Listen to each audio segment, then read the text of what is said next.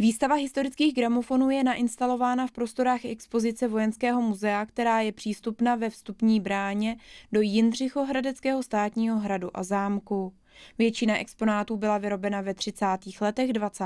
století. Takto tematicky zapadá do naší stálé expozice mobilizace Československé armády z roku 38.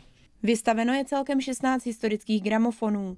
Nejstarší byly vyrobeny již v roce 1904, ty nejmladší o 50 let později.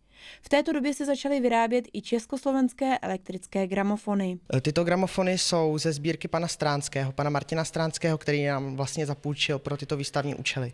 Všechny exponáty jsou plně funkční. Mezi nejzajímavější kousky bez zesporu patří typ Edison Home Phonograph, který se vyráběl v roce 1908.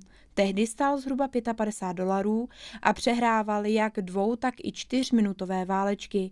Ty byly tehdy předchůdci tradičních a nám dobře známých desek. Výstava je přístupná denně od 10 do 17 hodin. O víkendech je otevírací doba o hodinu prodloužena.